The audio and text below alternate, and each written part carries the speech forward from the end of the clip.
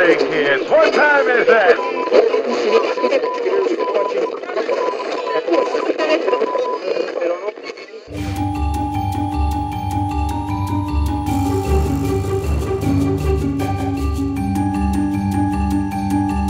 So a funny thing happened on the internet last night while I was having fun in the Orville Nation 5000 sub celebration stream. Congrats to you, PJ, our first YouTube friend. Really appreciate everything you've done for us to get us started here at Geek Time, and uh, congrats to you. And and let's turn that five into ten, and so on and so forth.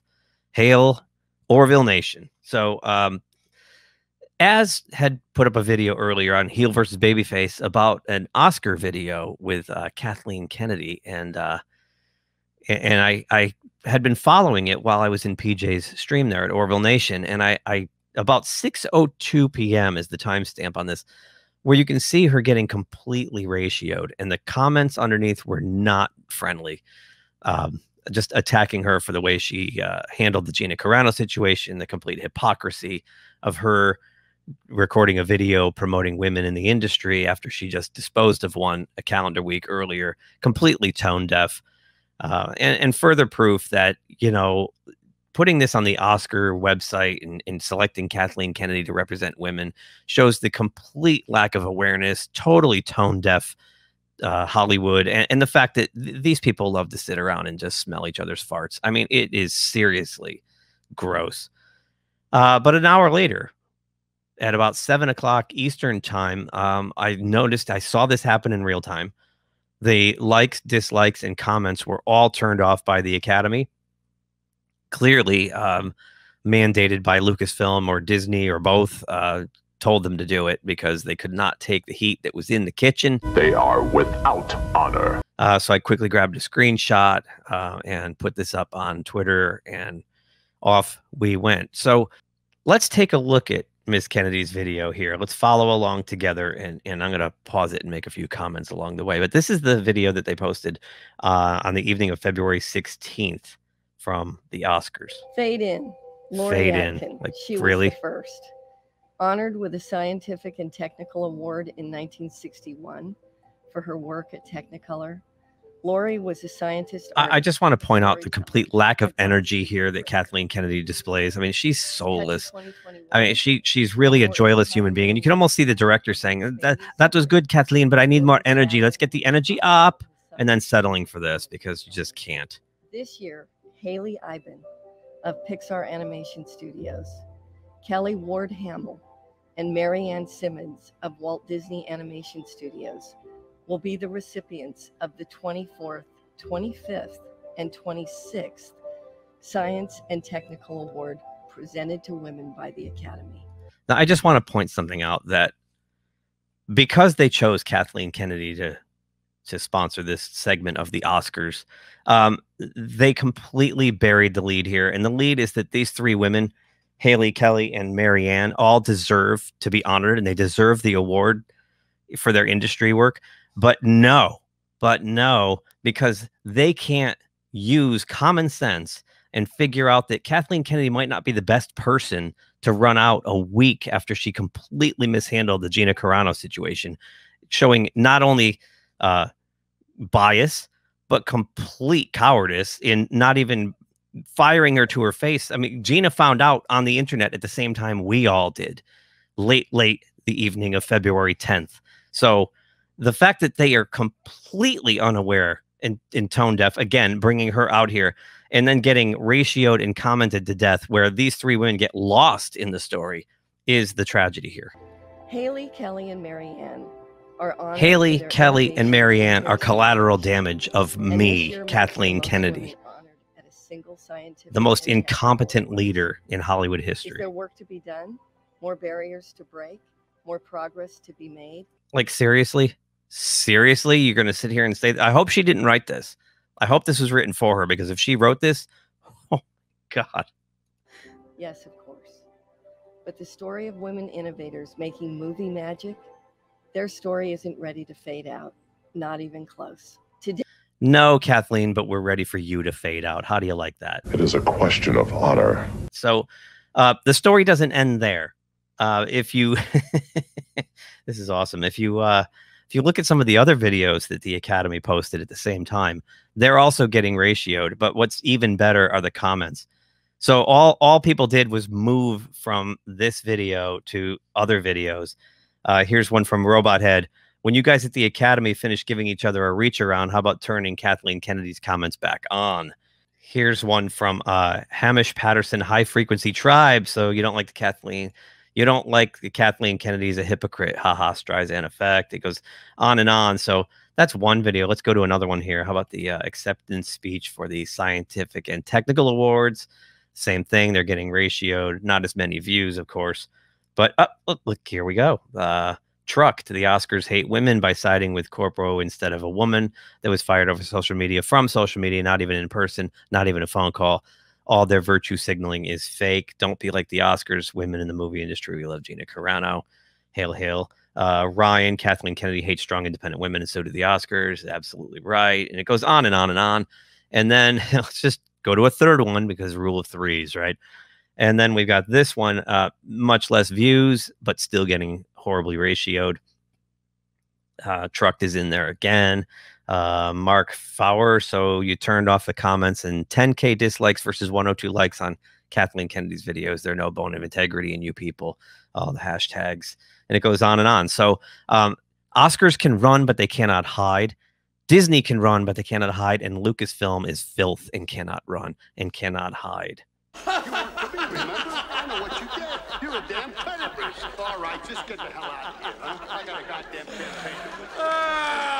So let's move over to the Hollywood Distorter and uh, look at this article behind Disney's firing of Mandalorian star Gina Carano by Aaron Couch, Tatiana Siegel, and Borys Kit. We need three people to uh, three people to manufacture outrage. So um, you can find it on the Hollywood Reporter, but I just want to point out this one paragraph here that jumped out at me. Um, it says, I don't know what people at Disney personally believe or don't believe with regards to politics, but as a corporate entity, they want to stay as trouble free as possible.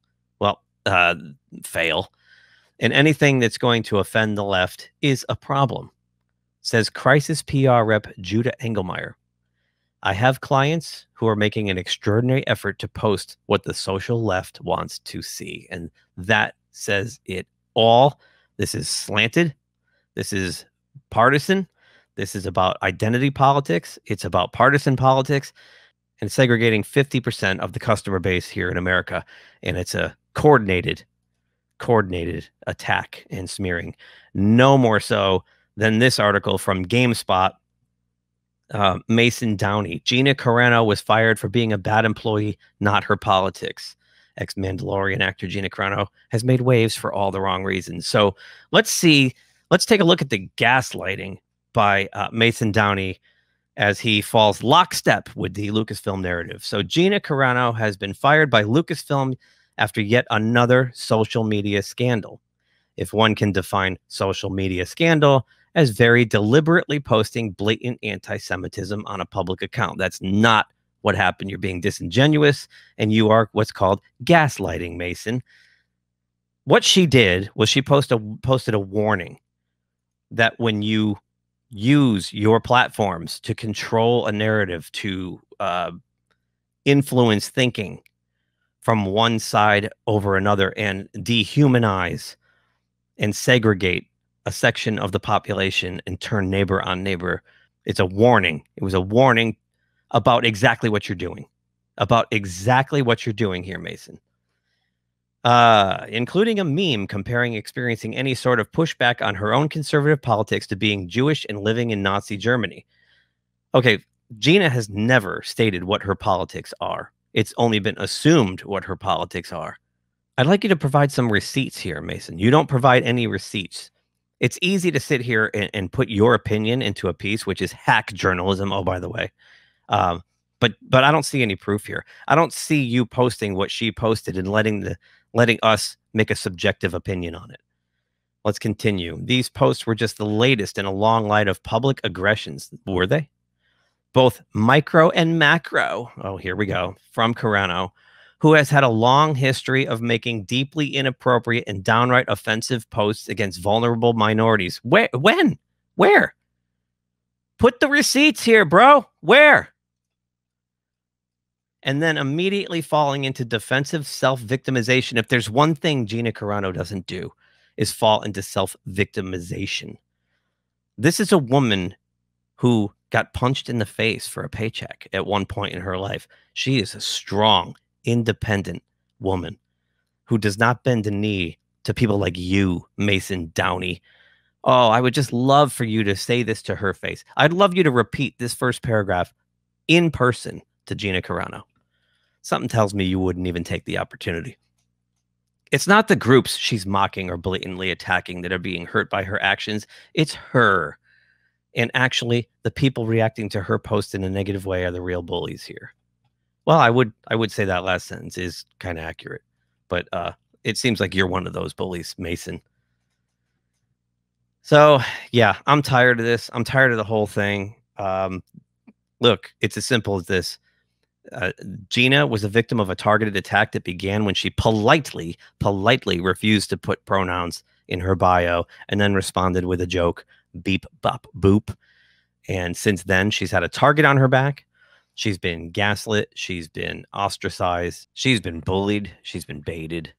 Now, she didn't help her cause by continuing to respond to these idiots on social media. Perhaps that's what sowed her fate in the end. She probably should have just turned away, but that's not her style. That's not what she does. She thinks different. Remember those Apple ads we all used to love? Think different? All those pioneers, all those loud, outspoken weirdos, the square peg in the round hole. Well, that's Gina Carano. So, uh, one last joke on my way out the door. Uh, I, I, saw this today on uh, Pirates and Princesses. Um, Marvel and Star Wars Day at Sea sailings return to Disney Cruise Line for 2022. Just what people want on the heels of a pandemic to be stuck on a boat with people from fucking Star Wars. you serious? Well, thanks for watching. Uh, please like this video if so inclined, or dislike the video if so inclined. We can take it. Uh, leave a comment. Please subscribe and, and share the video if so inclined. Uh, we're trying to build our little channel here and it's it's rough going at the beginning folks. So uh hey until our next video you guys all have a great day and we will talk to you soon. If you like this video please subscribe to the channel. If you subscribe make sure you click the little bell icon to be notified anytime someone from our show drops new content here. Thanks for watching and we'll talk to you soon. Say kids, what time is that?